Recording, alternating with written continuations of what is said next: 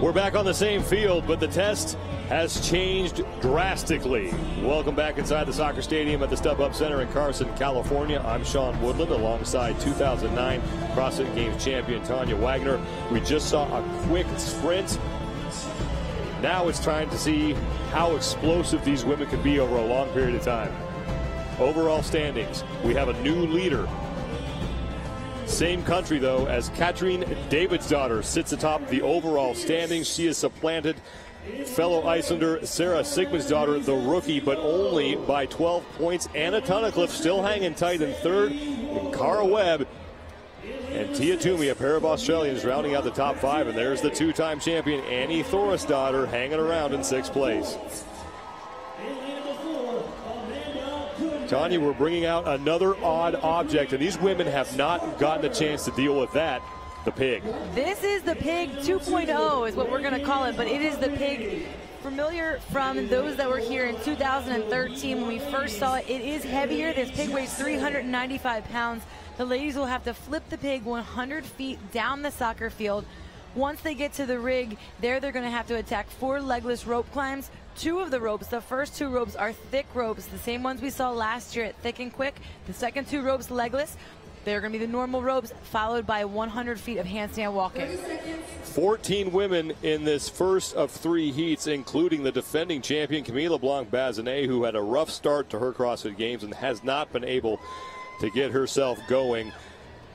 The other women to watch here Sandra Pichelli in lane number 12. We saw her perform some legless rope climbs a couple of years ago with very nice proficiency. This is a powerful athlete, and she will do well as long as she can get that pig to those ropes. Stand by. This is the first time that these athletes have dealt with this object. And a lot of them having some problems getting it up and over. And it's Sandra Pichelli who's the first woman to complete a flip. This event right here is going to take them about half of the time for these women. It's a 12 minute time cap, but this pig is heavy. And some of these ladies are going to struggle to even get one flip on this thing.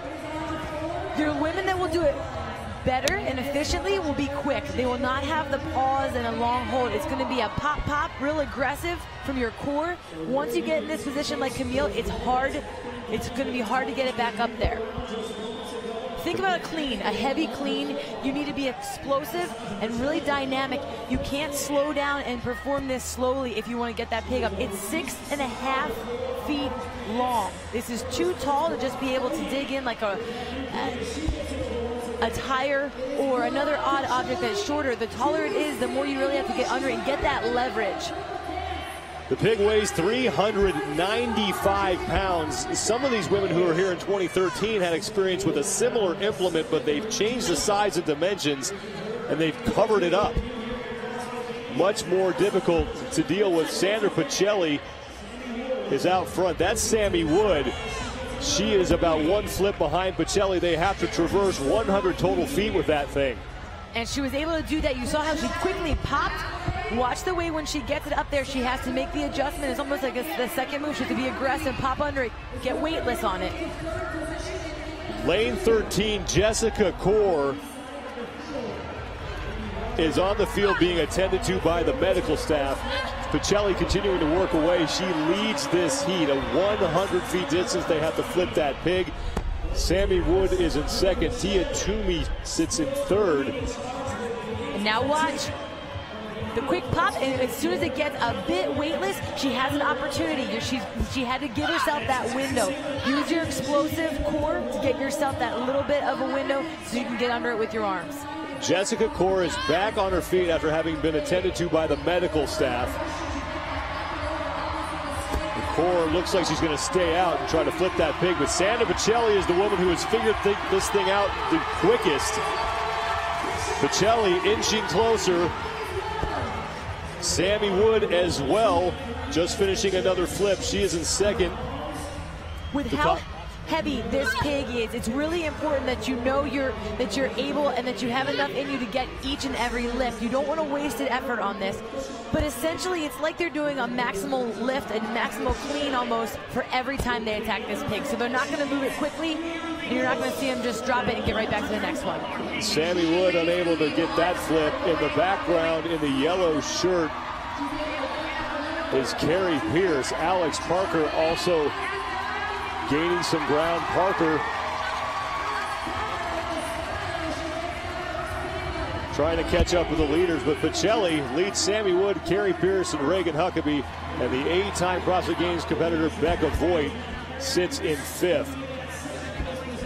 This is one of those events, Sean, that is slow. We bring things down. It's slow, but it's brutal. These athletes always make the events look so easy, and it's really hard for us to sit back and just say how much difficulty and how much technique is required, but this is an event where you're, you're able to see how difficult and the struggle that the athletes are going through. Sammy Wood trying to catch up with Sandra Pichelli, who is done flipping the pig, and Pichelli now making her way to the rope.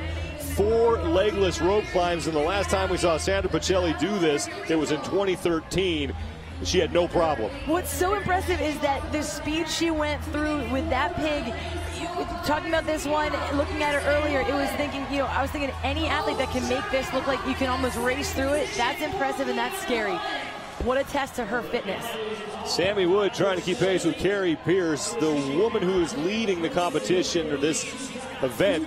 Will have her name highlighted in blue at the top of the screen, and the amount of reps behind will be listed in the white boxes to the right of the names of the women listed in red.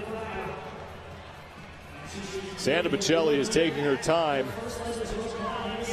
as Regan Huckaby completes a flip.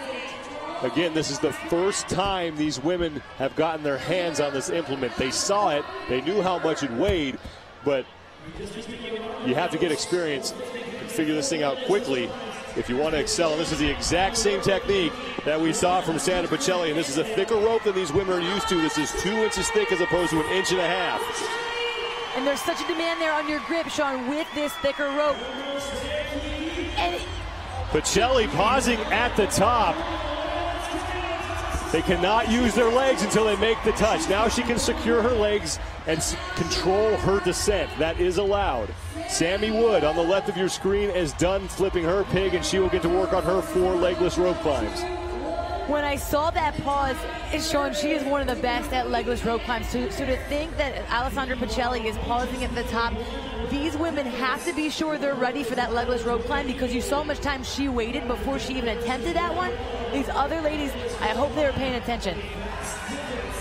Kari Pearce has finished up flipping her pig, as has Regan Huckaby. Pearce in the middle of your screen, Huckaby in the bottom right, and Sammy Wood composing herself for her first legless rope climb. Little different technique. She does not use the kip that Alessandra Pichelli uses, but very efficient and a little less time under tension. She was very quick up that rope. Pichelli taking a long time to get herself back on her legless rope climb. She'll complete one more on this two inch thick rope and then she'll advance the rope on the left of your screen. That is a normal thickness, just an inch and a half, but still both all four rope climbs need to be legless. And there goes Pichelli again using that kip to propel herself up towards the top. But you can see how much longer she has to grip that rope as she does that kip. As opposed to Sammy Wood, who has the short, short, quick pulls. They need to touch that steel beam.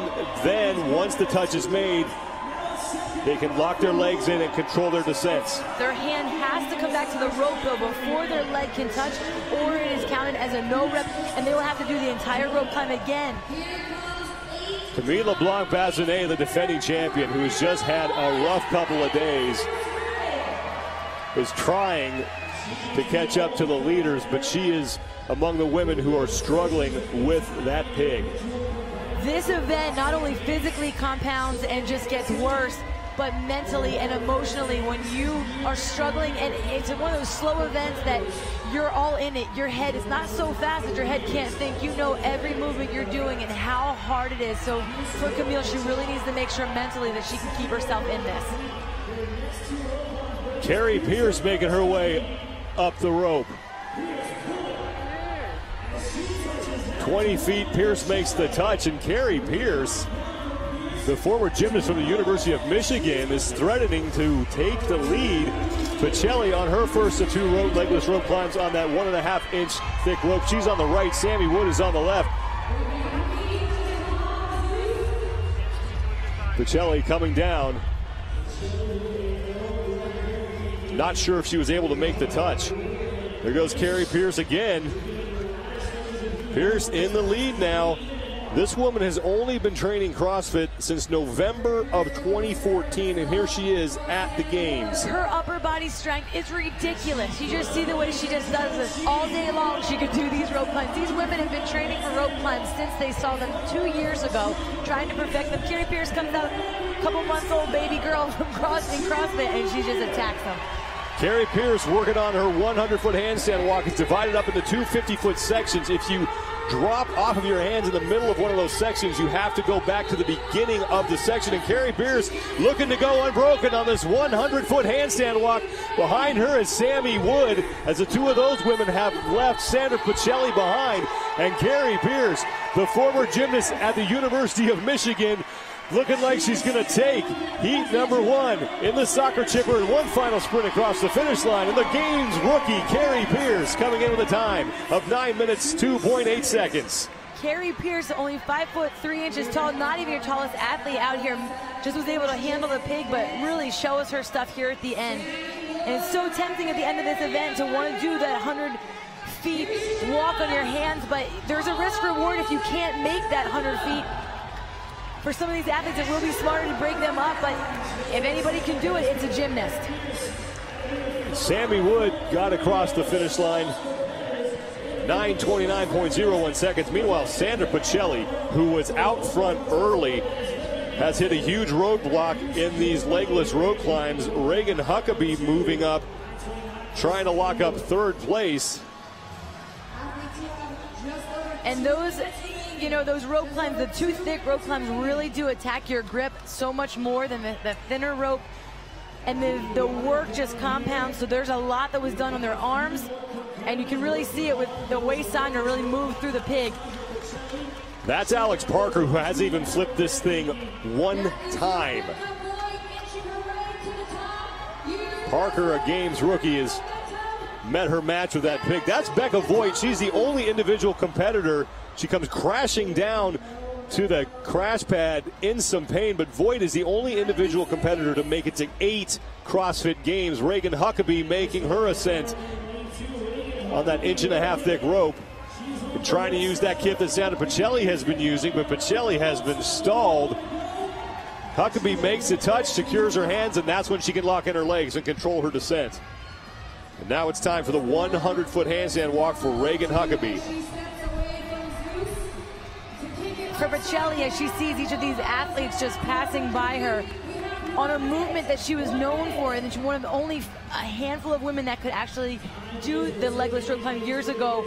People have really showed they've been putting the work in, and they know how to they know how to do these. Huckaby getting set to kick up into that handstand and walk 100 total feet. Again, they're two 50-foot sections. If you kick down before completing a 50 foot segment, you have to go back to the beginning of that segment. It's a 12 minute time cap, and we're coming up against it. Quite a few women are going to hit that mark. And if Huckaby wants to get in inside that 12 minutes, she's going to have to stay on her hands, but she's slowing down. Huckaby can kick down after that line and not incur a penalty, which she does. 10 seconds to go before we hit the cap. She sure did slow down about a couple feet before that line. So she's going to want to take a lot of time here, shake out, and make sure that she can get that. That's the time cap. It's only two women in the first heat of the soccer chipper complete the event inside the 12 minute time cap. Regan Huckaby signing her scorecard but it was Kari Pearce with the time to beat at 902.8.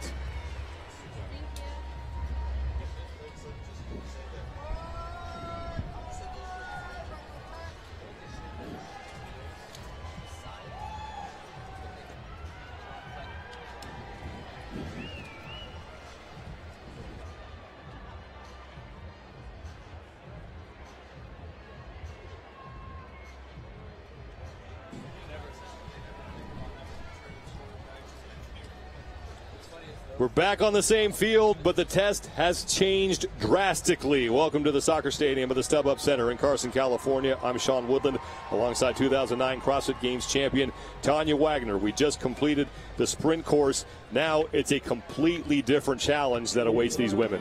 Things are going to slow down real fast for these women right here as they tackle a piece of equipment familiar from a few years back. And there's a lot mentally that's going to challenge them as well.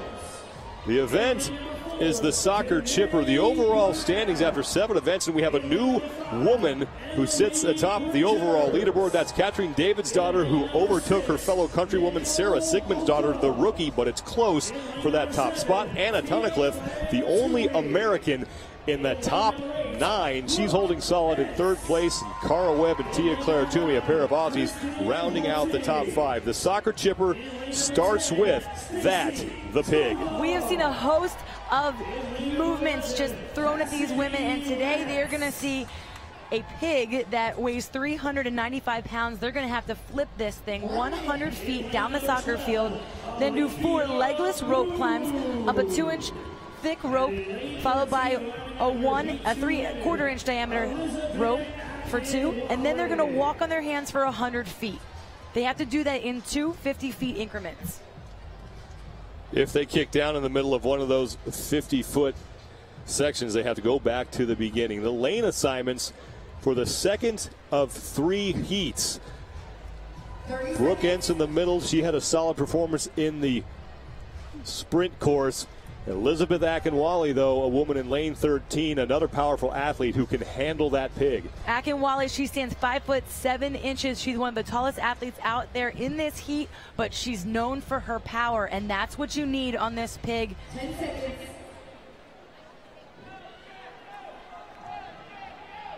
Stand by.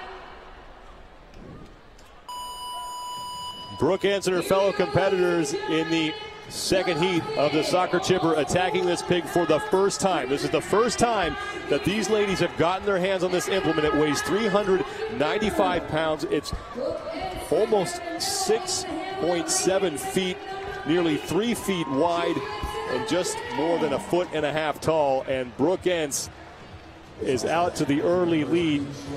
She has figured this thing out extremely quickly. We saw some women in the last heat who couldn't even flip it. This pig is different than the one that some of these athletes saw in 2013. There is no place for their hands really to grip. It's a, definitely a different object. It's wrapped with uh, matting of, of, sorts. So it's definitely different. And the athletes that can adapt on the fly and learn how to handle this thing are definitely at an advantage. But it's not a movement that they're going to be able to rip right through. It's too heavy, and each lift is like a maximal effort. So they really need to set their bodies, make sure they're ready, and get that momentum underneath it. It has to be quick if they want that pig to move. Elizabeth Akinwale keeping pace with Ence. Akinwale under that. Now it's time to push it over. Akinwale just ahead of Brooke Ence, Jen Jones, Brooke Wells, and Tia Toomey. Right behind them, the leader's name will be highlighted in blue at the top of your screen. And the amount of segments in which they they've completed will be in the white box. To the right, the women listed in red. The number to the right of them will indicate how many reps they are behind the leader. If you can get the pig stood up, it stands at six and a half feet tall. So for the taller athletes, there's a slight advantage. But if you can get that up to fully vertical and you can just weigh into it and you can get it to flip. But for some of the shorter athletes, they really have to rely on that core ability and that core to extremity ability. They can't just pick it up with their arms. They have to rely on strong hips, strong glutes and hamstrings to get that pig off the ground and then get a pop underneath it. Almost make it weightless for a second just to get themselves a window to get underneath it. Elizabeth Akinwale making her fifth appearance at the CrossFit Games. Her best finish was seventh. That was in 2012. Again, the pig, 395 pounds, just over six and a half feet, nearly three feet wide, and more than a foot and a half tall. Elizabeth Akinwale is just so strong. She was even able to use, I mean, she went at a slower pace that other athletes just aren't going to be able to do, showing her power. The Brooke Ence, who was off to a good start, is now starting to slow a little bit with that pig. And like you said, Tanya, it has to be a fast, explosive movement. And Brooke does just that, and now she has to push it over. There that's gone for one rep max clean, you understand that you have to be ready for it. It has to be composed, but then you have to be ready to pop and be aggressive, be very explosive to get underneath that weight. Elizabeth Akinwale is at the top of your screen. She's in the orange top and long pants. She currently leads, and that's the line that the pig has to be completely over. There can't be a segment of the pig on there. It has to be completely over that line. And Brooke Ence a rookie. We've seen this in past events. She comes out extremely well, but then slows as the event goes on. It's something so common that we see with rookies to the CrossFit Games. It's a long weekend, it's a long week of events. And so for a lot of these women that can usually go at that pace and keep it just managing that adrenaline is something new for them here at the games. Elizabeth Akinwale, if she can give this thing a good push and get her over that line, there's a good chance that she can clear it in one flip. Meanwhile, Brooke Ence is starting to creep up. Ence has about two flips to go before she'll be able to be completely across that line. Akinwale lining up for her final flip, or what she hopes to be her final flip on the pig. And it is completely over the line. Elizabeth Akinwale will now move on to four legless rope climbs. The first two will be on a rope that measures two inches thick, which is thicker than most of these athletes use in their own gyms. And that's going to use a lot more forearm strength. It's going to require a lot more stamina and endurance uh, in those muscles. There's such a, a great demand, and the demand just compounds with every pull on these legless rope climbs.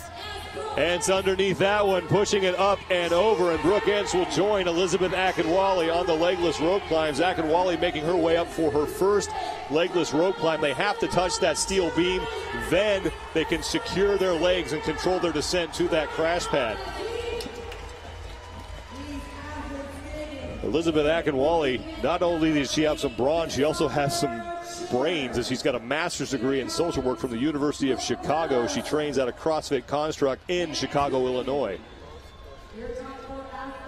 Brooke Wells, who just turned 20 years old, she's also a Games rookie. She won the Central Regional, and she's joining fellow rookie Brooke Ence and another rookie, Tia Toomey, on the legless rope climbs. This is the second of two for Elizabeth Akinwale. This portion of the event is so different, though, Sean. We saw explosive power, really a lot of strength needed. This, we go a little, we shift a little differently. A high skill gymnastic movement, again, requiring a lot of strength, a lot of stamina. These ladies need to make sure they're ready to make the lift, uh, ready to make that climb, because a missed climb, a no rep, would be detrimental for how long they have to wait to recover till they can do the next rep. Tia Toomey on the left, Brooke Answers on the right, employing the same technique as Brooke Wells is trying to do, using that kip to propel her up that rope. And while she is moving, it's just not as efficient, Sean, as we see a lot of these ladies. She's working so much harder. Her arms come down, they straighten out, they go back up, and that's going to be a no rep. That's so much effort that Brooke Wells just wasted. She's going to need a lot of time. The only thing she can do now is wait until she can get a little bit more strength back in those. In and that that's grip. that's the biggest problem with these movements, like a legless rope climb. It's it's all or nothing. If you get halfway up, you've wasted all that energy, and then you're falling down, and then have to hit the reset button. Meanwhile, Elizabeth Akinwale starting to pull away as Tia Toomey has moved into second place, along with Brooke Ence, Brooke Wells, and Nicole Holcomb. All three of the movements in this event really have a high risk reward ratio. If you waste too much time trying to hold on to the pig, maybe it's better you just drop it so you don't waste all that energy. For these rope climbs, you really need to make sure you're going to make that full climb because you're just going to waste the energy and it's going to be devastating. We're going to see the same thing when these ladies approach the handstand walks. There's a 12 minute time cap on this event, and in the first heat, only two women were able to finish the entire event inside that time cap. They were the women that were not the first to the ropes. We're seeing a pattern here that the ladies that can really move that pig are not necessarily the fastest on the rope and the handstand walks. Tia Toomey making her way up on that inch and a half thick rope. Two rope climbs on the two inch thick rope, two on that rope, which does match the dimensions of a rope that would usually see in a CrossFit gym. That is Elizabeth Akinwale, who has been in the lead for most of this heat. A lot of swing on that rope. That's not not great, but she's able to get it. Akinwale, a veteran there, knowing that she has to secure her hands before she locks in her feet after making that touch. And once again, Brooke Wells cannot make it to the top. Mentally, I said this was going to be a very challenging event, and for a rookie, it is just it's really hard to get that back when you keep seeing failed uh, failed rep after failed rep. Elizabeth Akinwale is the first woman on her 100-foot handstand walk. It's broken up into two 50-foot sections. If Akinwale comes down before she completes 50 feet, she has to go back to the beginning of that segment. That's the line that she needs to pass. And Akinwale is going to go for the full 100 feet. The time to beat is in the upper left-hand portion of your screen, 902.80. It belongs to Kari Pearce. Kari Pearce, a former gymnast, and you know what? We all seem to remember Akinwale. She is all known for her strength, but she has a collegiate gymnastic background. Rolls out of the handstand. Elizabeth Akinwale is across the finish line, setting the new top mark at 8 40.94 seconds.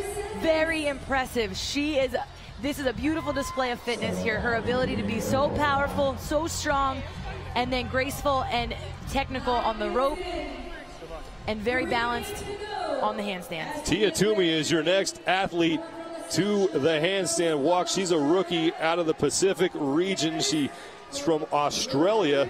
She started CrossFit to help her improve her 400 meter hurdles time, and here she is competing at the 2015 Reebok CrossFit Games. She just got to see a few hurdles, and now she's showing us what she can do here on the handstand walks. Toomey trying to complete that first 50 foot section as Nicole Holcomb is getting set. She's in the orange shorts. Toomey in the lead once she hits that first, now Toomey kicking down, she's got to go back to the beginning of that 50 foot segment, and that means Nicole Holcomb will take over second place. As long as she can get there to that 50 foot line, and here's the risk reward. If you go too soon on these handstand walks and you don't make that, that's a lot of wasted effort and a lot of, of missed seconds. Two minutes before we hit the 12 minute time cap. Nicole Holcomb trying to improve on her 32nd place finish from 2014 at the games. She's back on her hands, 50 feet to go for Nicole Holcomb. And it's so hard to hold these two handstands together at the end. She's able to do it though. Nicole Holcomb will come across in second place in this heat. She has a time of 10.22.02, and now four women in total have completed the soccer chipper. Tia Toomey is back on her hands. She's just got to get to that 50 foot mark before she can kick down. As soon as you see athletes start to pause and wobble like that, it's not a good sign. Emily Bridgers in the background in the all orange as Toomey just misses getting across that 50 foot line. She will have to go back. Emily Bridgers, meanwhile, passing Tia Toomey. As is Stacie Tovar. She's in the white top. And here comes Alethea Boone, another games rookie out of the Pacific Regional. She's trying to lock up a third place finish with less than a minute to go before we hit the 12 minute time cap. And Boone is in. Now, five women have completed the soccer chipper. Alethea Boone, rookie, took second out of the Pacific region. She has just shown us great things so far here at the games this year, has surprised us passing veteran names that we expected to do better, and really, Alethea, very impressive performance. Stacie Tovar has about 20 seconds before the time cap hits. She's trying to get in inside of that, as is Emily Bridgers. 15 to go for Stacie Tovar. She is on top.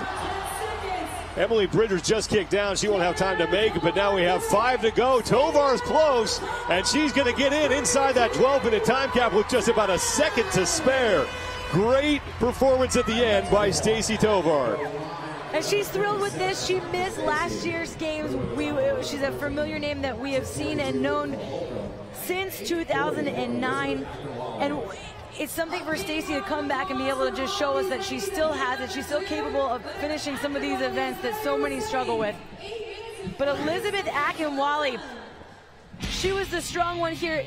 Toomey was not able to get through those handstands. Two fails right before she got to the line. This is where she was passed.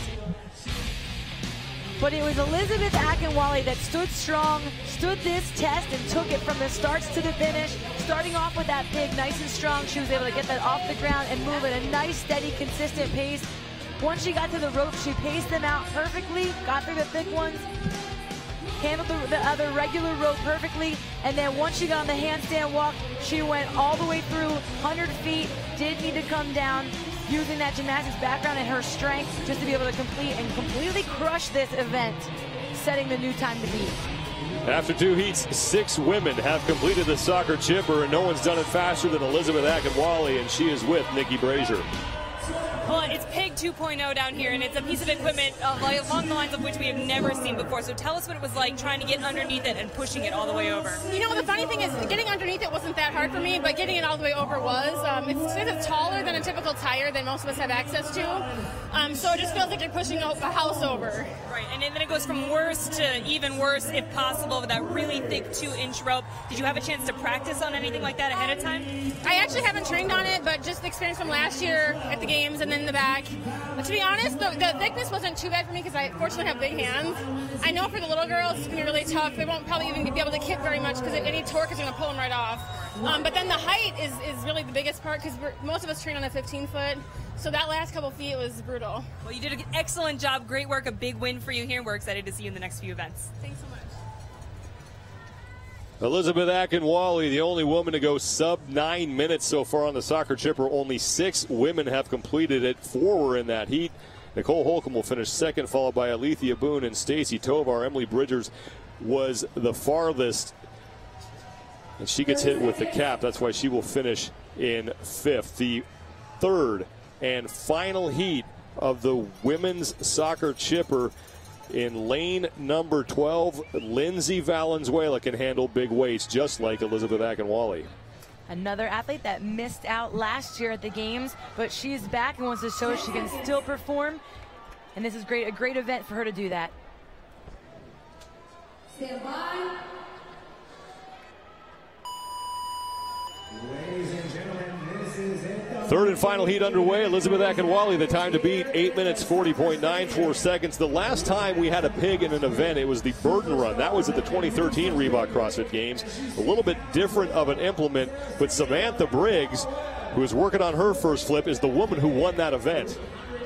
Sam Briggs has a way of adapting quickly on the fly. She might not be the most efficient or use the best technique, but she is able to just get the work done. So I see her maybe taking a couple flips to just figure this thing out, but then she will just fight her way and push through it. Sam Briggs having trouble with that, but this is a woman who does not quit. She completed the Atlantic Regional, or the, the Atlantic Regional, and she finished second there despite having a broken foot.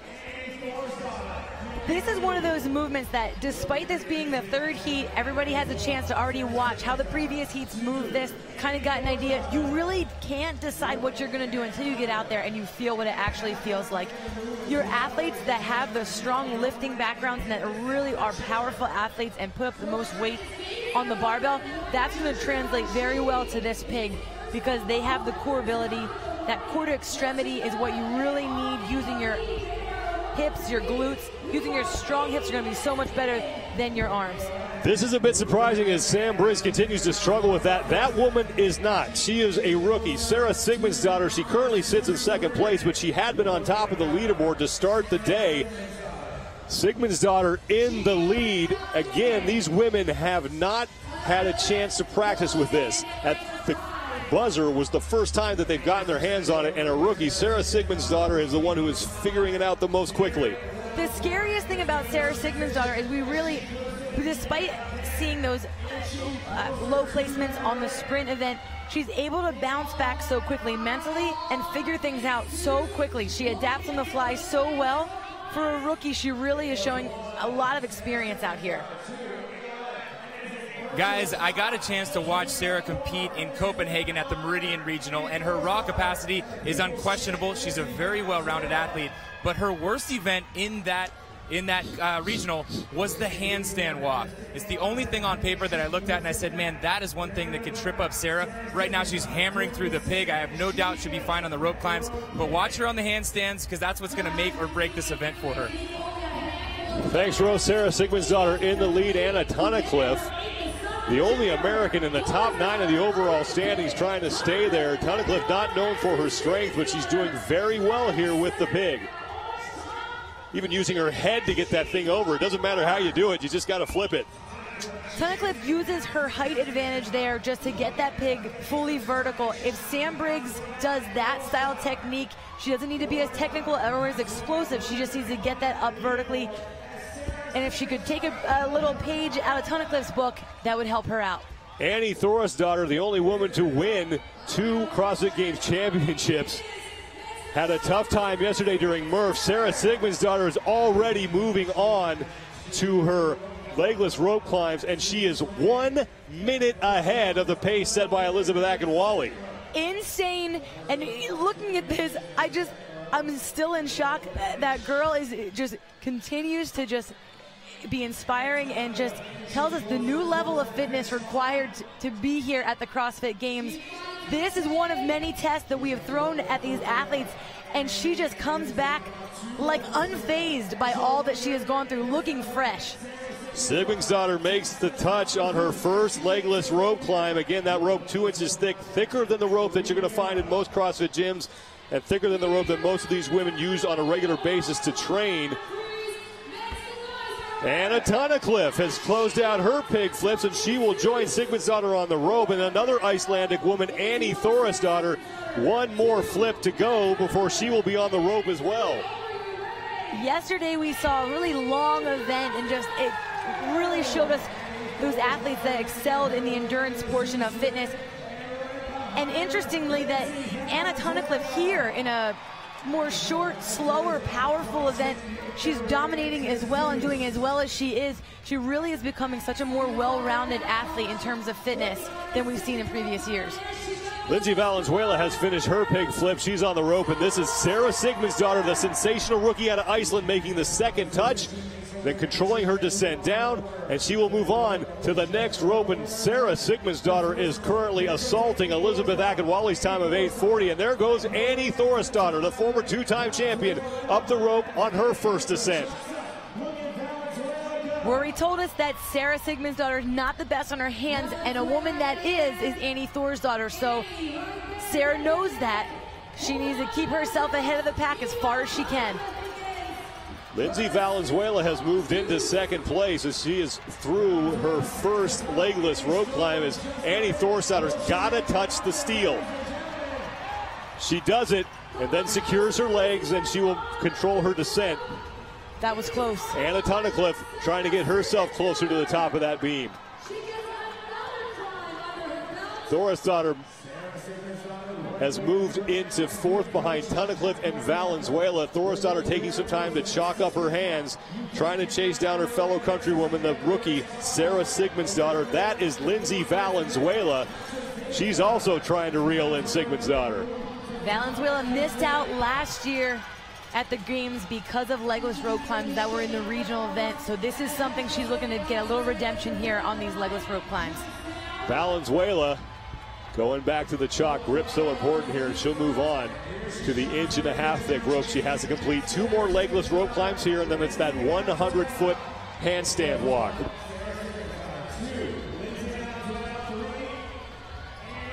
That is Samantha Briggs, the 2013 Reebok CrossFit Games champion, who the last time we had a pig in an event, she won that. That was the Burden Run, the year that she was the champion. But she's just trying not to fall, fall too far behind here. Only six women have completed this event inside the 12 minute time cap. And Sara Sigmundsdottir is well on her way towards becoming the seventh. Sigmundsdottir making the touch, controlling her descent. Talking to her judge and no rep. Apparently, she didn't hit the beam. There's a clear black part on the rig that they do need to touch. Her feet were on the rope too early. There's a very specific sequence these athletes need to do, and they were briefed on it. You have to touch the steel, secure your hands, and then your legs can lock, lock into the rope. One more look at what happened to Sara Sigmundsdottir. Watch her feet and the timing here. She's making her way up. Everything's fine here. Her legs aren't helping her. But then as she gets to the top, she makes the touch, but her legs are already secured. She pinched it with her upper thighs, and they're saying that that is what allowed her to stabilize herself, and that is not allowed. I was there when Adrian Bozman gave the rules and distinctly had the athletes repeat back to him. It's so easy to have that happen though. When you're fatigued, you're at the top, and it's so easy to just quick grab with your legs as an instinct. Sigmundsdottir will collect herself as Lindsay Valenzuela may have an opening here. Valenzuela in second place, just one rope climb back. The leader's name in blue. And then the women in red, the number in the white box will indicate how many reps behind they are of the leader. There goes Sara Sigmundsdottir. And that one looks like it's going to count, and Sigmundsdottir is on to the one 100-foot handstand walk. She's not going to be able to track down Elizabeth Akinwale, but she can win this heat and possibly reclaim the lead that she lost to Katrin Davidsdottir. But she's going to need to do so in two 50-foot increments, and we'll see if she gives herself enough rest time and this is a repeat of the regionals that we saw a couple years ago. Lindsay Valenzuela getting no rep on a rope climb, and this exact same thing played out in 2014.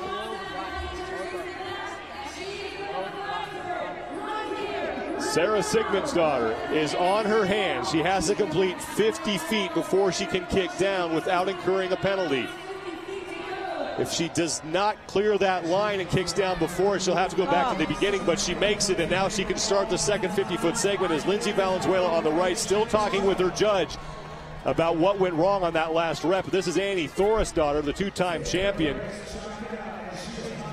in 2011 and 2012 using a really big kick to get herself up there. It's a lot of time under tension for her grip and for her forearms.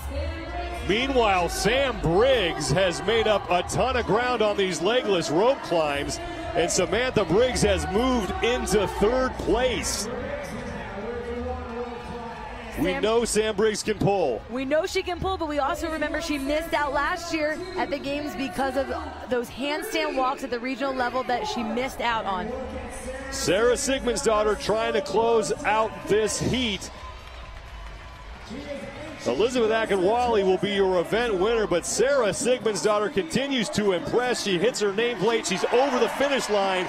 And Sara Sigmundsdottir takes the heat with a time of 10 minutes, 7.41 seconds. Lindsay Valenzuela now trying to close out her legless rope climbs.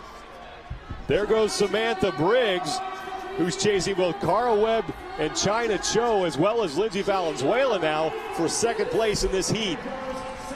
Chyna Cho is done. She'll be coming into view at the bottom of your screen as she approaches her handstand walk, as does Samantha Briggs. Chyna Cho at this year's regional, she won the rope event. She is a ninja up that rope.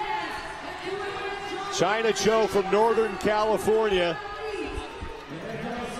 She's on the bottom right of your screen. Samantha Briggs in the upper left. She's on her hands. And Samantha Briggs, once again, out of nowhere. She was struggling with the pig.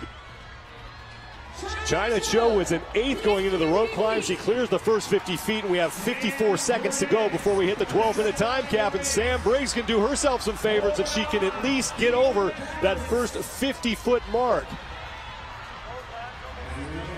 Cho starts on, starts on her second 50 foot journey, and Sam Briggs will make it. Cho fell down, so she has to go back to the beginning of that first 50 foot segment. 30 seconds just about to go before we hit the 12 minute time cap.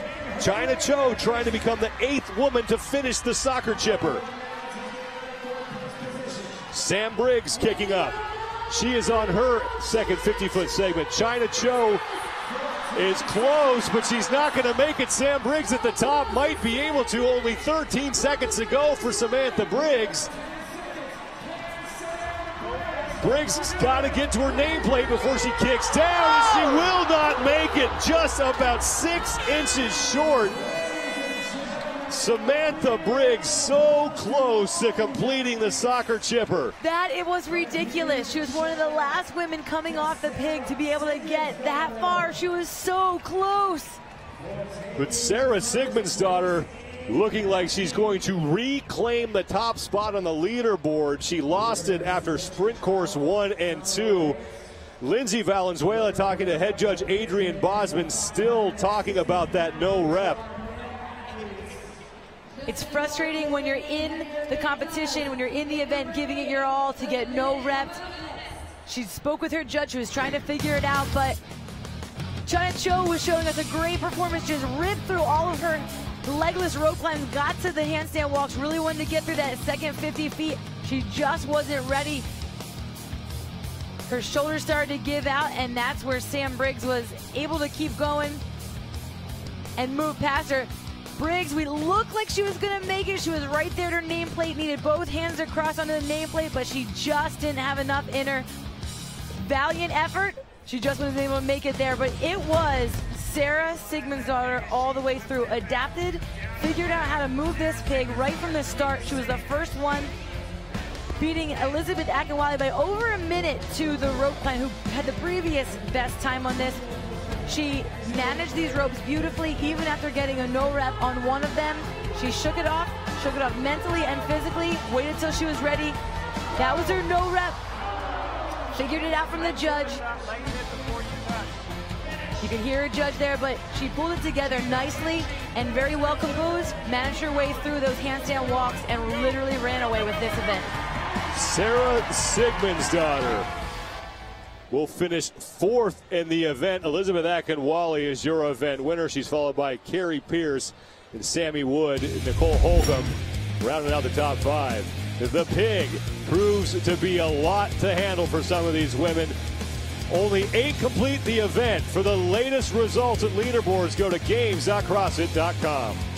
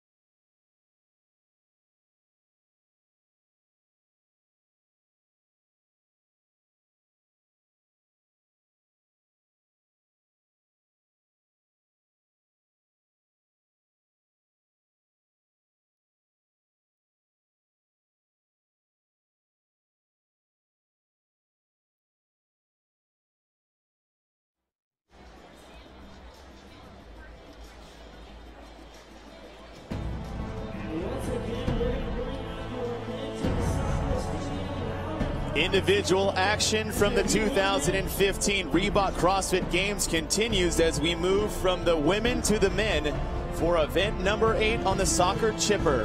I'm Chase Ingraham and alongside with me is Bill Grundler and Mike Arsenault.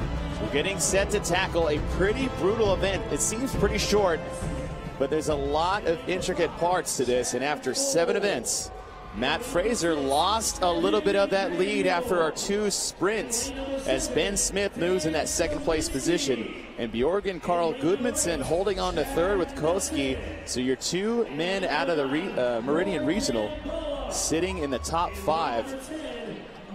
And when you look at the overall test of the CrossFit Games, you're getting so many different things thrown at you. We just came off the field run extremely fast, and this soccer chipper is going to go really heavy. So start off with 100 foot of that brand new Pig.0 pig flip, 560 pounds, four legless rope climbs, and chase. We have two different widths on this, two inch and an inch and a half, and then a 100 foot handstand walk in 50 foot increments in heat number one of three total heats to kick off men's event number eight.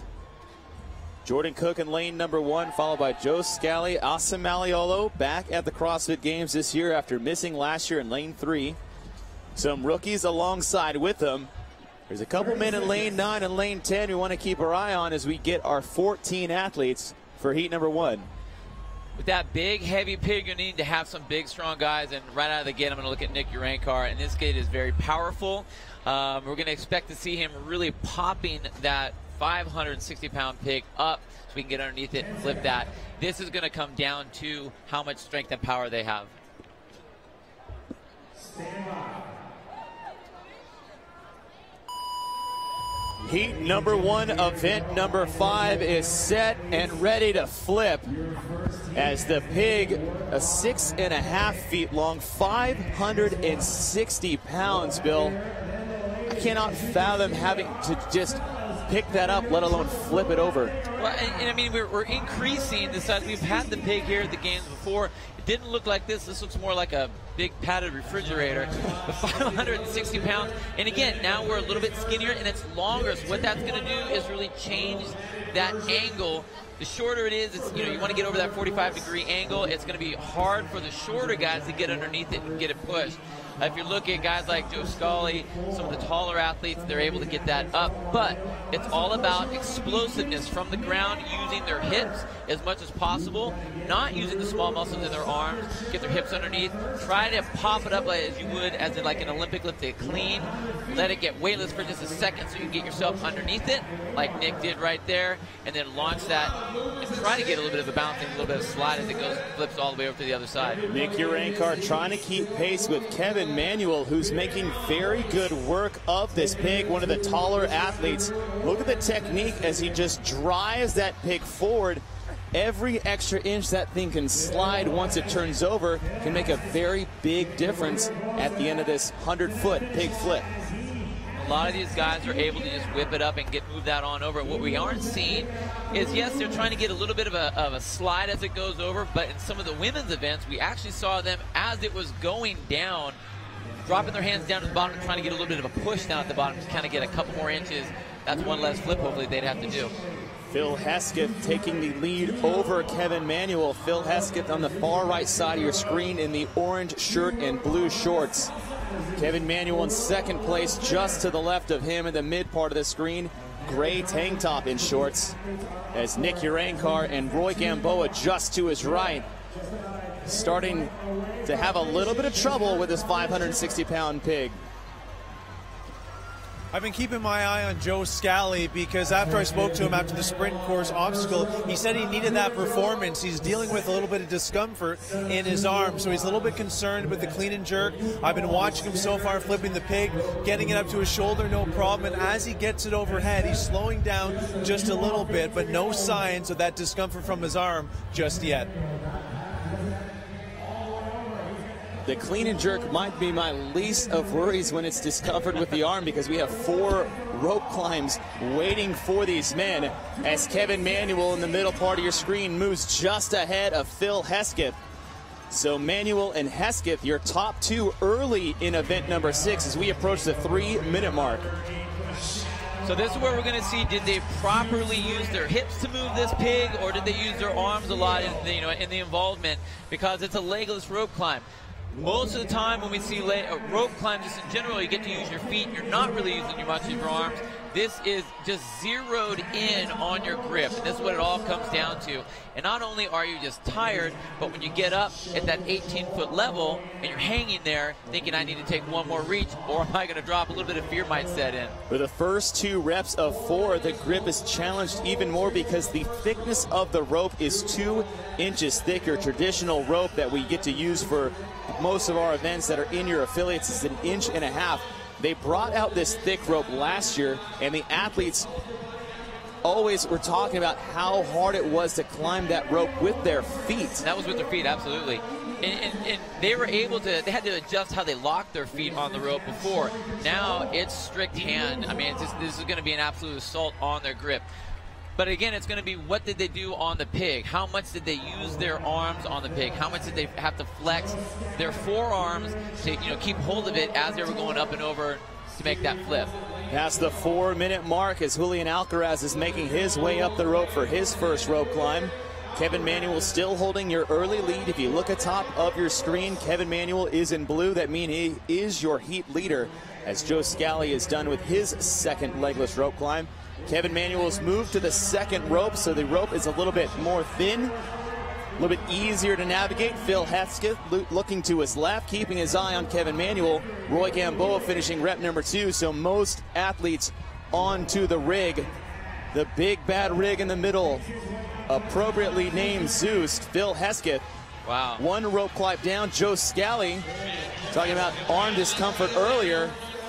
Kevin Manuel is working on his final ascent. He's got to touch the safety beam at the top and then control that descent. There is a nine foot marker on that rope that they cannot slide down or drop beforehand. And Kevin Manuel right past the five minute mark.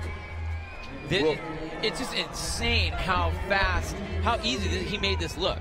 I mean, we've seen the pig come out before, and it's just done damage. I mean, we still have an athlete on the floor, Dan Tyminski, who has only flipped it, I think, for where he is, only one, two or three times maybe. So the fact that Kevin Manuel was able to flip the pig with basically no problem, get through the, the legless rope climbs with no problem, and now he's working just strongly on the handstand walk. Hesketh is done with his final rope climb, trying to keep pace with Kevin Manuel. As these athletes have a 100-foot handstand walk to the finish line. There's two 50-foot sections. The handstand walk must be unbroken within those 50 feet. Roy Gamboa moving up ah, alongside Joe Scali and Phil Hesketh. Kevin Manuel, first CrossFit Games athlete out of New Zealand, has 25 feet left to go. And if he can get to his nameplate on the right side of the soccer field, Kevin Manuel in heat number one is going to set the time to beat.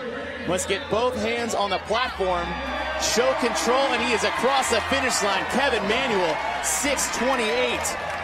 Wow, that was a great. He looked so solid through that entire, the all three of the different elements of that of that event. Phil Hesketh currently in third place in this heat. Roy Gamboa has a slight edge. He is done with his first 50-foot section as Phil Hesketh is getting chased down by Chad Cole just to his right. Chad Cole in the opposite colored jersey in the blue shirt, orange shorts. Roy Gamboa. A quick work of the pig in the beginning of this event. And as we pass the seven minute mark, and he took a lot of rest. And, and, what he was doing was watching the other competitors, see where they were, let them do some work with it right before they get to the handstand walk. Took his time, so he's completely composed because if he came down, he wouldn't be able to make that. But great job, super smart on his part. Roy Gamboa finishing in a time of 7:19, good enough for second overall. Chad Cole will cross the finish line in third as Phil Hesketh, who is sitting in second for the majority of this heat. If he can get to his nameplate, that'll be good enough for fourth overall. This is just heat number one of three as event number eight for the men is starting in this soccer stadium. Hesketh pumped up that he got that second section. just like any other gymnastic movement that you'll see in the CrossFit Games or any uh, any of the other qualifiers, you have to know exactly what your body is able to take and how far you're able to push it. In gymnastic movements, if you push into the red or go a little bit too hard, then you're just going to fail, fail, fail. And these guys, when it's broken up into that 50 foot section, they can't fail. They have to go back. They don't want to have that happen. Julian Alcaraz will finish his handstand walk, closing out event eight, heat number one, in a time of eight minutes and 15 seconds. Just in front of him was Steve Fawcett. Chad Melton out of the California Regional, just a few steps away, and there's a stumble. Ah. Now, Bill, when you get that close, a foot or two away, he didn't just only have 48 feet to in his shoulders? Is it is it that mental edge? You're so close, you kind of lose sight of what you're trying to do. I think he you know may have just lost focus just a touch, tried to rush it a little bit. But I also feel that as you're falling backwards, if you're a foot away, you need to just drop your hands forward as much as you can because as long as your hands can move forward before your feet touch, you're going to be okay. But you can see the frustration that was really setting in. Nathan Bramlett will edge ahead of Chad Melton so you can see these athletes it's a little bit of a high risk, high reward if you start too soon with an opportunity to either walk the entire 100. They don't need to come down at the 50 foot mark, but most athletes choosing to do so to save their shoulders. And Chad Melton, for the second time in a row, is just five feet short of that finishing mat. And not only is this going to start messing with him mentally, but just physically. That's all that extra work that's going on into his shoulders right now, and that's going to that's going to make every every single attempt from here on out that much harder. Chad Melton, first time to the CrossFit Games out of the California Regional. He really needs to put this out of his head. Take a breath, relax a second. Okay, he's resting, let himself rest, but not get frustrated. We're approaching the 10 minute mark, and an unfamiliar sight for this particular athlete, Daniel Tyminski, is stopped dead in his tracks, having an extreme amount of trouble flipping this pig. Once again, we've been talking about the mental aspect of these events. Once you start to fail over and over and over again, you see the rest of the field starting to leave you. It gets really tough to keep on going and to keep that that mental fortitude, just uh, you know, positiveness. I can do it. I can do it. He's moving way too slow. The fact that he's resting here, that time under tension, it's gonna it's gonna hurt him. Chad Melton, third time is a charm, and he will get across the last 50 foot section to stop the clock at 10:35. As you have a couple athletes still stuck on the pig. And the last section of the handstand walk. And we'll keep in mind this pig is 560 pounds. Jordan Cook having some trouble as well. It's like flipping a Fiat. one nice thing though for Jordan, at least he's in one the single shaded lane of this entire thing, so he's not at least going to be as hot, as sweaty as Dan Tyminski, who's sitting out in the center of the field. Jordan Cook, his second trip to the CrossFit Games out of the South Regional. Him and Daniel Tyminski in the background are tied as distance flipped. And Awesome Maliolo having a discussion with his judge.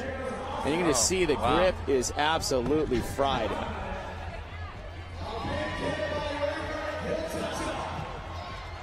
Look at that was a little hot coming down. Little hot coming down. That's one of the issues when these athletes were, were, briefed on how this was going to happen, it's hands, they touch the metal, then their leg can come down and actually, you know, uh, help themselves down. But come down fast, it's going to burn some skin. And heat number one of three is done as the 12-minute time cap is reached. And Kevin Manuel, the rookie out of New Zealand, set the bar high. 628, the time to beat, as Kevin Manuel gets first place in heat number one. And look at the way he just moved that straight off the ground. I mean, there wasn't any pause at all. He, does, he doesn't make this, didn't make it look like 560 pounds was that big of a deal. Right through the through the rope. Look, he had gloves on his hands. I think that was real smart. That way, if he had any sort of worry or concern about coming down, that's going to protect his hands using his feet to, to, to control his descent. But the handstand walks, broke it up into sets of 50, was nice and cool, calm, collected, stayed focused, and brought himself all the way through to the pad. Kevin Manuel, first place in heat number one, is down with Mike Arsenault. Kevin, you're very methodical as you approached this event. The pig, very heavy, looked fairly smooth for you. This was actually the first time you had an opportunity to get your hands on the pig. You didn't get to try out during warm up. So, what was your first thought as you lifted it for the first time? Um, I think my first thought was just to make sure that um, I get a good grip and just kind of feel it out. So, I took my time with my first lift, made sure I got it up as high as I could, and, uh, and then just flipped it from there. And as it went on, you actually learn a little bit of, of where the weight is and what you need to do. So it was actually quite good. We got to learn as you go on, um, and it I wouldn't say it got easier, but it got um, you kind of knew how to, to recover if you kind of miss a little bit. So it was quite good. I enjoyed that workout. What does it mean to be a resident of New Zealand representing your country here at the CrossFit Games? Oh, it's, it's an incredible honour. Um, when I qualified, it was a very, very humbling experience. And I've, I've said to a lot of people, you know, outside of my, my wedding day and the birth of my kids and a couple of other things, this is one of the biggest events of my life. So, I mean, it's an incredible honour to be here, being able to represent New Zealand. Congratulations. Thank you very much, Kevin Manuel, the leader so far in this event. Your results in heat number one, Kevin Manuel, a time of 628.00. Roy Gamboa getting second place, followed by Chad Cole, as we have two more heats remaining for men's event number eight.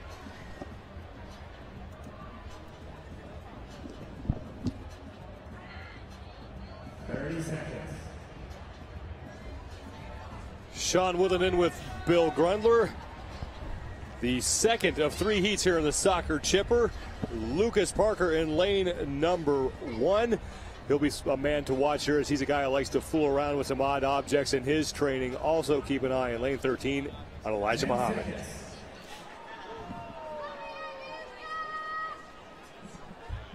Stand by.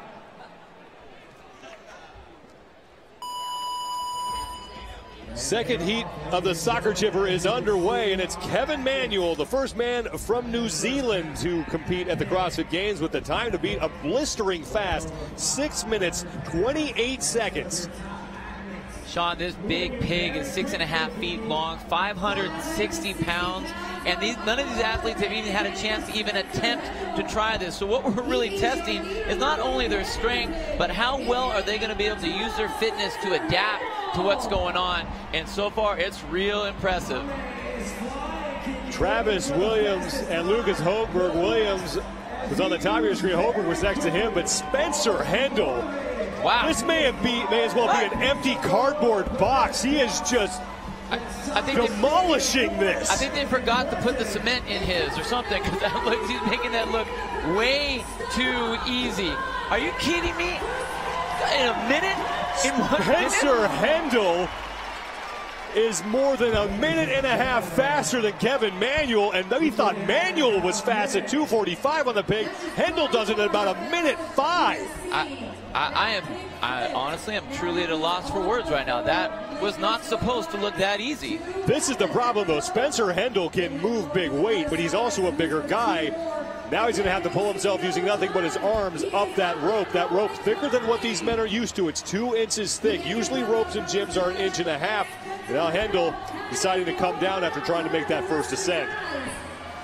But let's look at what Spencer has. One, long arms, that and a big, he's tall, big jump, so it's going to be a good thing for him. This is going to be a good, a good event for him, all three parts. And he's got a ton of experience. Five total games appearances for Spencer Hendel. Ben Smith is the leader in the men's field as far as games appearances are concerned. He has seven, and he's only 25 years old. So look at the difference across the field versus what you saw with Spencer Hendel. These guys are battling this Pig Point 2.0. You can actually feel how heavy it is for these guys. But wow, Spencer made it look like it was literally an empty box. Lucas Hogberg is just about done with his 100 foot pig flip. He currently sits in second place. Hogberg is going to try to join Spencer Hendel on that rope. There are six total reps that are counted in the pig flip as the field is divided up by those hash marks. The 100 feet is divided into six segments. So each time a man clears one of those segments designated by the hash marks, a rep will tick away. Spencer Hendel is currently through nine total reps. Lucas Hogberg is done, and Hogberg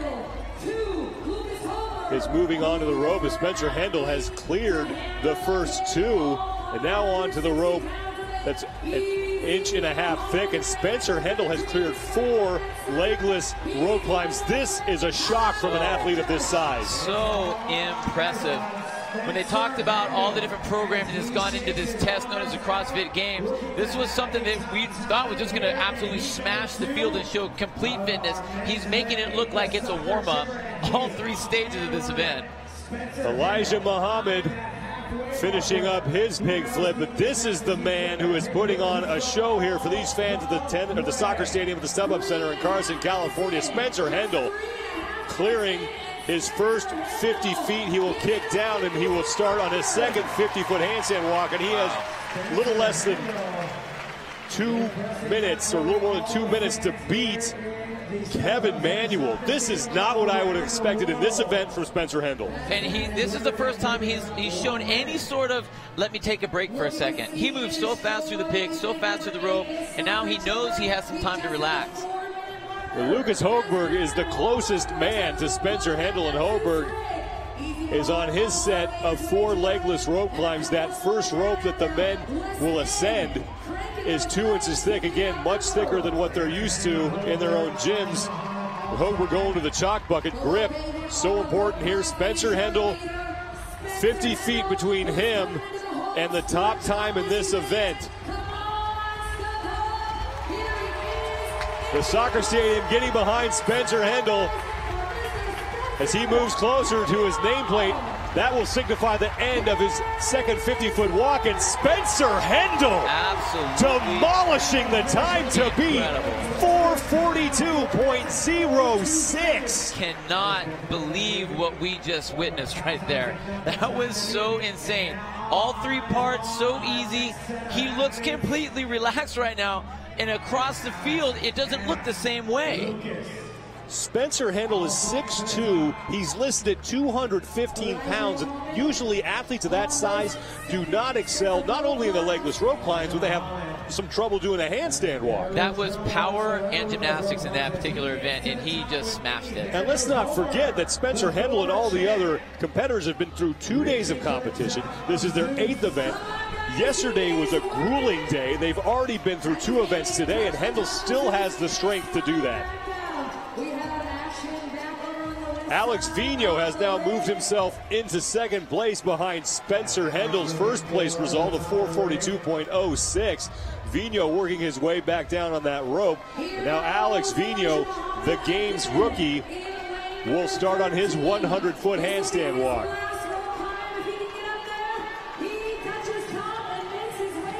Aaron Hanna and Elijah Muhammad, a pair of games rookies behind Alex Vigneault and Graham Holmberg, the 2010 Games champion, trying to remain in fifth place in this heat.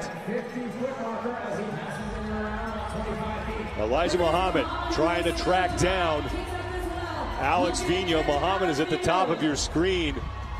Has a little bit of a faster pace than Alex Vigneault, but Vigneault looks like he's going to hit that first 50 foot mark ahead of Elijah Muhammad.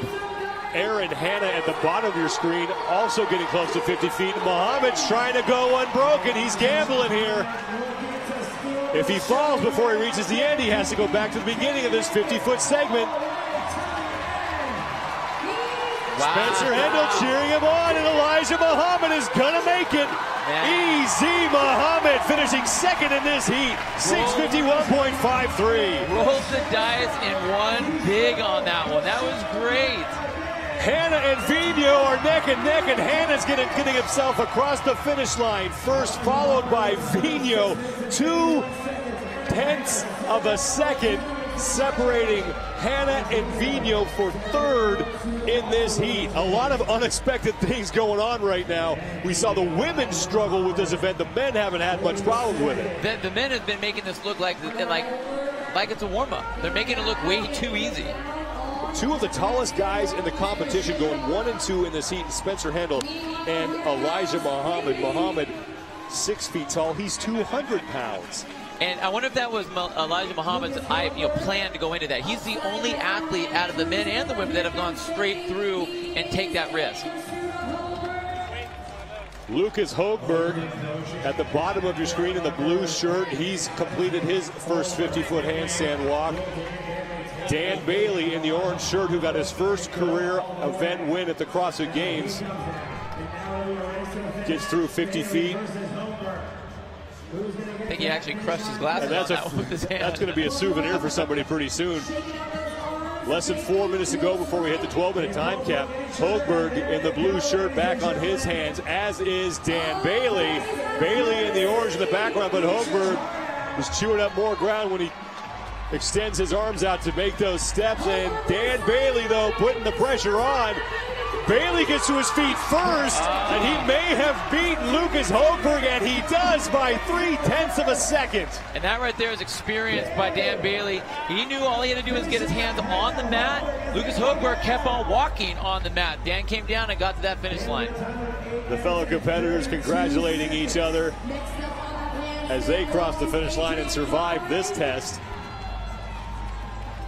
Adrian Conway in the blue shirt He's won a couple of affiliate cups, the team competition here with U CrossFit Hacks Pack. He did that in 2012 and 2013. This is his first year as an individual competitor.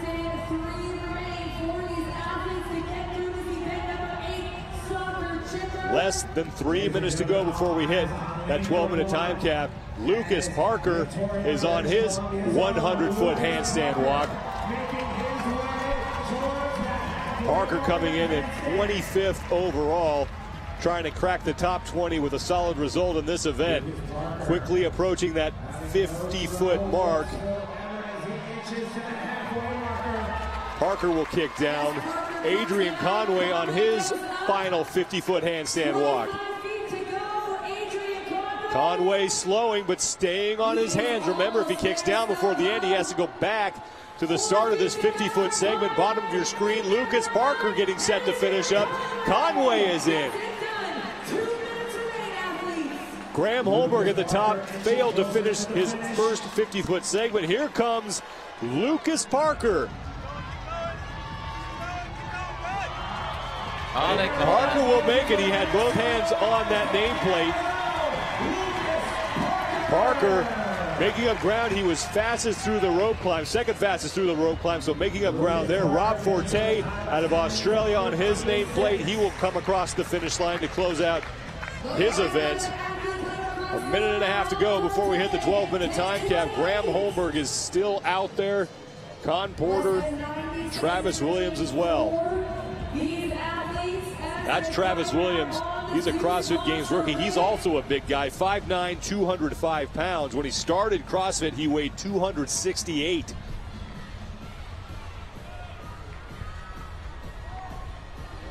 Graham Holmberg in the blue shirt. He's the 2010 CrossFit Games champion. Spencer Hendel, who finished, seems like yesterday, is there to cheer on Holmberg as Holmberg shakes out to make sure he has plenty of energy to get himself across this 50-foot span. Dan Bailey in the orange shirt is there as well to cheer on the last man not named Rich Froning to stand on top of the podium here in the men's competition at the CrossFit Games. Graham Holmberg inside 30 to go before we hit the 12-minute time cap. Trying to get himself across that last 50 feet, and he just cannot hang on. And Graham Holmberg will hit the time cap but still a solid result for him getting to the handstand walk. I think he was just deciding to wait as long as he could, basically giving himself one shot. And the frustration is that he knew that it just didn't happen on that one. Three men still on the floor, but that man sprinted through what was supposed to be a longer event. Spencer Hendel had zero trouble with the pig. Remember, this is the first time he's had a chance to touch that thing. Hasn't gotten to practice at all. In third place, though, it's Aaron Hanna just at the end past Alex Vigneault. Just looked smooth and just caught him on the pad. So these athletes all had to be very aware of where they were ending up, and it's all about getting on the pad. Easy Muhammad. Man, we're gonna we gotta call him the gambler or something because he rolled the dice, One big on this one. The only athlete so far to go all 100 feet on the handstand walk, and that moves him right up into that second place position. But the winner of the event in a time that astonished everybody, Spencer Hendel, 442.06. That no rest at all. Everyone else was resting and waiting. He just moved through that like it was absolutely nothing. And again, being a larger athlete, you would think that the ropes would be an issue. Not an issue at all. Proved us all wrong. And he made the handstand. I mean, the handstand walk was a nice, gingerly walk for him. Spencer Hendel, we'll see if his time holds up over the final heat. He's with Nikki Brazier. Spencer Hendel, did they forget to fill your pig? Was it was it accidentally empty?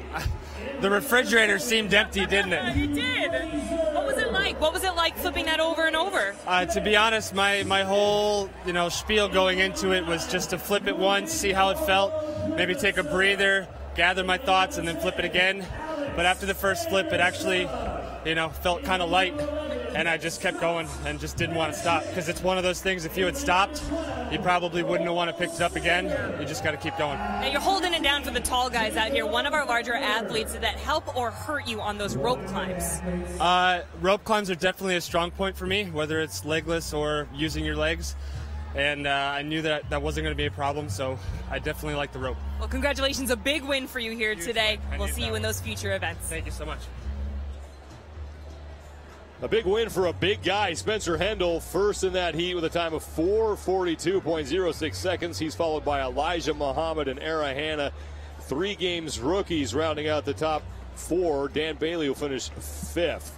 The final heat of the soccer chipper.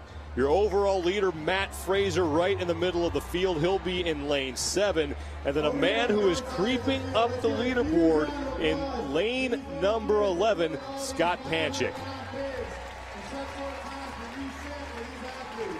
Matt Fraser, the overall leader, holding off Ben Smith by 52 points.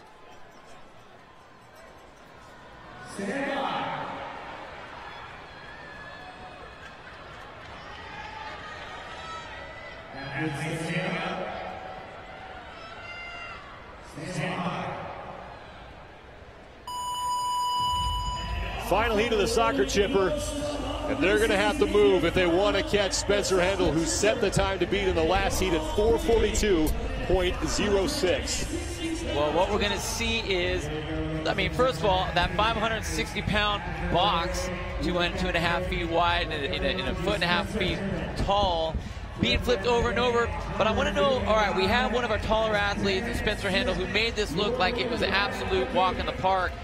How are our shorter athletes going to do? Guys like Matt Fraser, we know he's so explosive and so powerful, but is he going to be able to uh, get that box up high enough and flip it as, as fast as someone like Spencer Hendel, who got it up well over that 45 degree and ease it on over? Ben Smith in the orange shirt in the middle of your screen is out to a lead. It's 100 feet they need to cover with that pig. Scott Panchik is back in the pack. Not going nearly as quickly as Smith. By now in the last heat, Spencer Hendel was done flipping this thing. To give you an idea of just how fast he was, Ben Smith just cleared the halfway point. That's that. That's so crazy. So insane. So with Scott, I think he's actually going down a little bit too low. He needs to set up more of a power clean position rather than doing your classic setting up for a, a, a tire flip. He needs to get the explosiveness up rather than trying to drive through at the normal 45 degree on this. Meanwhile, Matt Fraser is towards the back. If Fraser can move weight, but this is a different form than he's used to moving. This is the first time that the athletes have been able to get their hands on this odd object. Ben Smith has one flip to go before he will complete the 100 feet. Look how slow Matt Fraser is bringing that box up off that pig up off the ground. He tries to get it up and load it up on his knee, but the angle of that pig is so low that he's struggling trying to get himself underneath it. Ben Smith moving on to the four legless rope climbs. As Matt Fraser continues to work away, Ben Garard, Jacob Heppner, Cole Sager, and Tyson Takasaki are the men who are fighting for second place in this third and final heat of event eight of the 2015 Reebok CrossFit Games, the soccer chipper. Wow, Ben Smith looks great right now. Overall, in all the heats we've seen, he looks he looks real strong. No, he's not going to get up to Spencer Hendel's time, but look at that. Not even taking much of a rest. It just looks powerful on those rope climbs. No issue at all. Cole Sager is done, and he will join Ben Smith on those legless rope climbs. Cole Sager, a man making his second appearance at the CrossFit Games. He's out of the Northwest region. He finished 17th in his rookie year. Ben Smith ripping through those rope climbs. I think he's actually just getting ahead of Spencer Hendel's split, and it's all about how fast he's going on the rope climb. So I think they're going to be getting to the handstand walk about the same time, and then it's about who's going to go ahead, who's going to go first. Ben looks so fresh right now. Cole Sager just had to rethink his first try on that rope. Ben Smith, meanwhile, is done, and he is approaching the handstand walk. A minute to go 100 feet if he wants to beat Spencer Hendel. Right up into the handstand. Now the question is, will he try to go unbroken? That's probably what he's going to have to do if he wants to catch Spencer Hendel. Ben Smith also trying to catch Matt Fraser. He's 52 points behind him for the top spot on the overall leaderboard. Smith through 50 and kicking down. Still plenty of time here. Tyson Takasaki and Jacob Heppner have wrapped up their pig flips and they'll be on the rope as Ben Smith doesn't waste much time. He's back on his feet.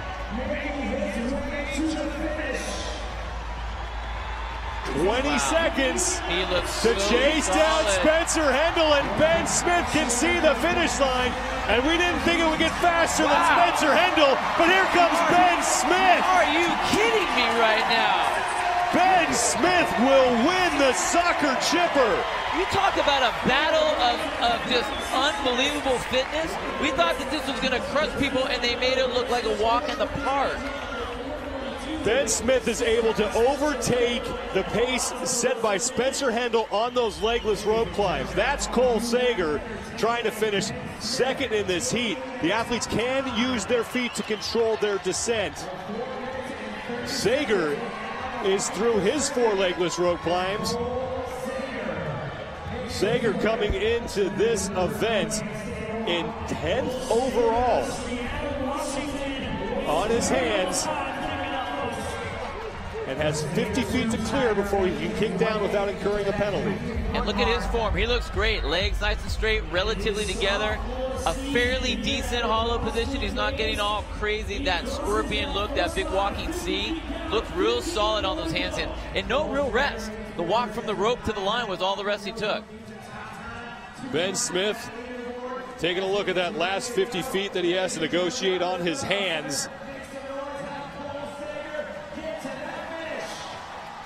And he can still lock up a second overall finish, or third overall in this event, as Kevin Manuel sits in third right now at 628. And Cole Sager's going to do it. He's across the finish line. Great job. 601.12.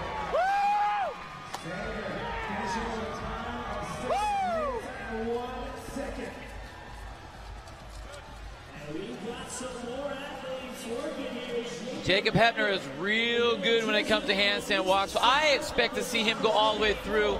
We've just seen him crush it in the regionals with the handstand walk. Had a little struggle on the on the uh, on the Pig 2.0, but I expect to see him go all the way through and finish up strong here. Jacob Heppner trying to get through his first 50 foot handstand walk. Ben Garard is also on that first segment, as is Bjorgvin Gudmundsson. Heppner on the left, Gudmundsson on the right. Heppner trying to go unbroken. He's taking a gamble here. Oh, Meanwhile, that's Ben Garard on the right. He will kick down. Gudmundsson also kicking down. So all three men will start over. Meanwhile, Matt Fraser, the overall leader on his legless rope climbs, he was ahead of Ben Smith by 52 points, and Smith is going to cut into that lead significantly because Matt Fraser is struggling.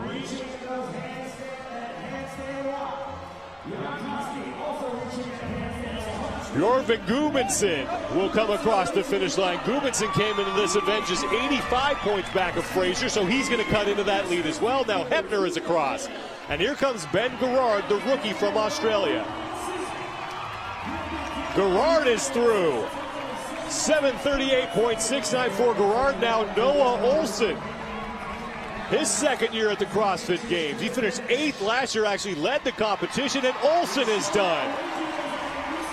Noah Ohlsen coming in in fifth place overall, while Matt Fraser is in trouble on these ropes.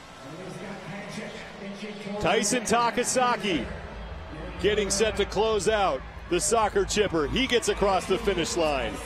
And Matt Fraser is watching more and more points slip through his fingers as Ben Smith will creep closer. And Matt Fraser is having trouble on this rope. He's trying to do that kip, that, that, kip that everyone's doing, but look at the frustration that's going on. He's seen this slip away. He just came off of two bad events with the sprint. He can't afford to have another one, and he sees that happening. His hands and grip is just starting to fail. Jon Koski just finished. He's 20th overall. That means the best that Fraser can do if he were to pass everybody right now on the field, as Scott Panchik has just finished. He'll finish 21st overall. Fraser will only earn 36 points if he finishes in 22nd place. Ben Smith is going to get 100, and that means that Ben Smith will overtake Matt Fraser.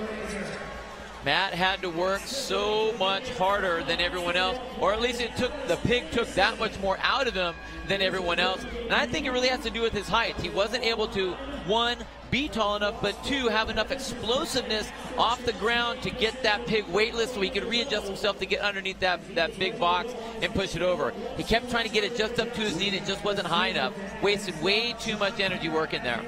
Two and a half to go before we hit the 12 minute time cap, and Matt Fraser's got to get to work here as more men are threatening to come across the finish line ahead of him. That's Alex Anderson in the purple shorts trying to get across his first 50 foot span. Anderson is gonna make it. He'll be able to kick down safely. Matt Fraser using the kip now to propel his way up as Cole Sager in the upper right hand portion of your screen coaches him. Fraser will complete that and then control his way down. Now shaking out as he has one more legless rope climb to go. We will have a new overall leader after this event as Ben Smith takes the win and Matt Fraser has finally shown that he may have a weakness.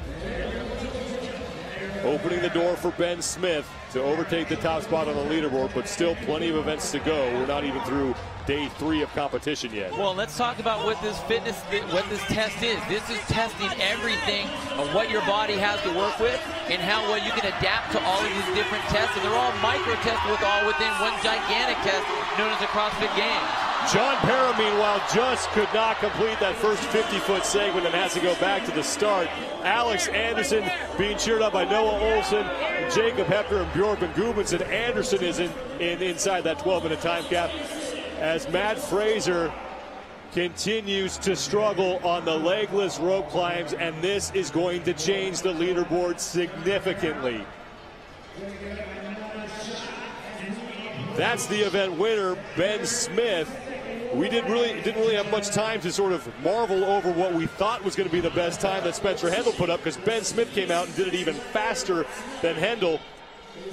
Matt Fraser has 20 seconds to go before he hits the time cap, and he's not going to make it, but he can help himself if he can just get another legless rope climb. And I don't know if Fraser's even going to make another attempt. I don't think he should. He has. He knows what he has coming up. He knows he's got clean and jerks he needs to do. Save it for that where he needs to go big. Don't waste yourself now, and just because you're in the event.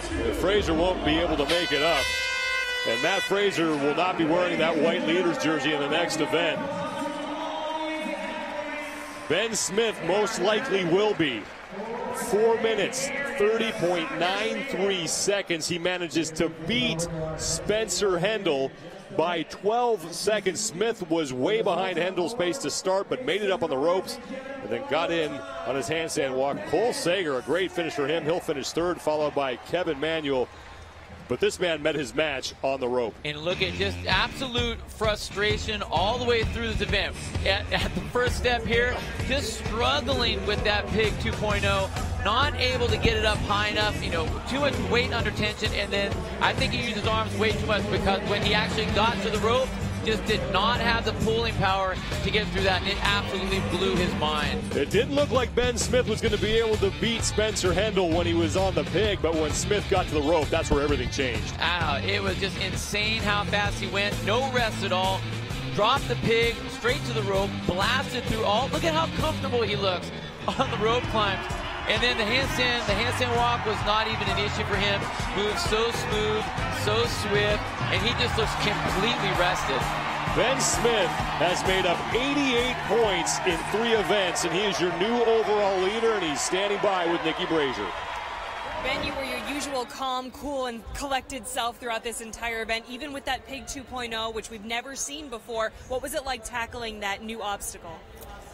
Um, you know, we didn't get to try it out beforehand, so I was hoping it'd be heavy. Uh, I picked it up for the first time. I was pretty happy, so it just kind of rolled from there. No, it definitely was heavy, but you moved right from it straight to those rope climbs, and again, very comfortable up the rope, even the thicker one. Is that something that you normally train on? Yeah, we do a lot of rope climbs. Um, a lot of rope climbs at the gym, and uh, I was just trying to get through that pig quick, and I knew I could do okay on everything else. Now you're the overall leader heading into the next events here. What's going through your mind? How do you maintain that lead? Uh, just got to keep doing what I'm doing, having fun, enjoying it, and uh, just working hard. Yeah. There you go. Just keep winning. Well, congratulations. This was a big win for you, a big move up the leaderboard. We'll see you in the next events. Thank you very much. And that's about as animated as you're going to see Ben Smith get. He's on top of the leaderboard now. He makes up 88 points over three events. 84 of them came in the soccer chipper. You know, we know that Ben Smith is always a contender, but to see him jump to the leader and Matt Fraser drop so drastically in that particular event, I'm stunned. I'm stunned. All of a sudden, things have gotten really interesting in the men's competition. The pig proves to be a challenge for many men, but not for Spencer Hendel and Ben Smith. For the latest, head to games.crossfit.com.